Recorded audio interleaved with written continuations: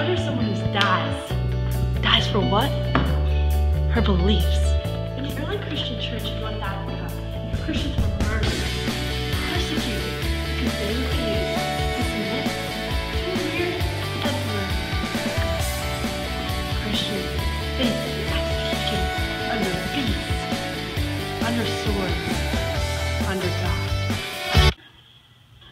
Two girls endured it all because they loved God. Their names were Perpetua and Felicity. In the early Christian era, than Saints Perpetua and Felicity. The two women were arrested and imprisoned, along with three other Christians, in Carthage in 203 AD. Perpetua was a 22 year old noblewoman with a son a few months old. Felicity, a slave with a child not yet born. Their crime was defying Emperor Septimus Severus's prohibition of conversions to Christianity because they were not to submit to pagan gods.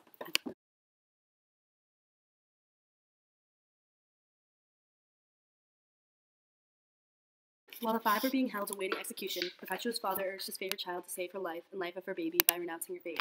But she answered, Father, do you see this pot? Can it be called by any other name than what it is? No. So also I cannot call myself by any other name than what I am, a Christian.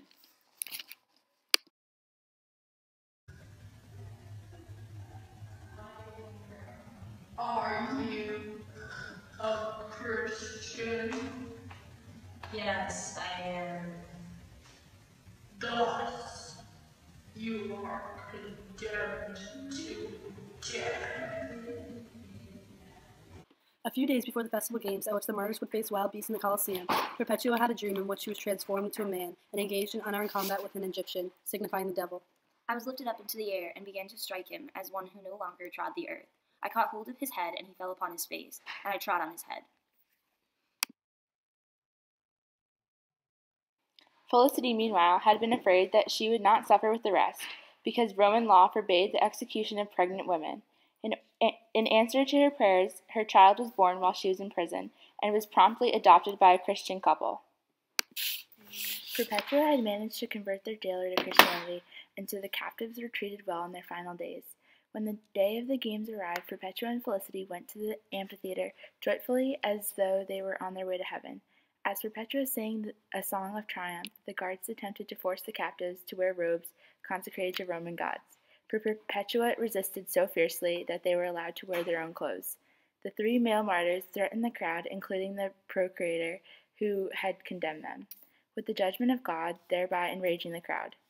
A wild heifer was sent against the women. The heifer tossed Perpetua, who then got up and helped Felicity regain her feet.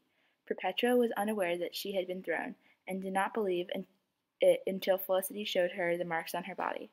Having survived the animals, the women were sent to be executed. They exchanged a final kiss of peace. A nervous gladiator tried to kill Pe- Perpetua, but failed to finish the job until she guided the knife towards her throat. Although the execution in the Colosseum was intended as entertainment, some of the spectators, inspired by the martyrs' fearlessness, converted to Christianity. These women are individuals who we can all learn something from. Their devout faith in God made them not only martyrs, but women we should aspire to be.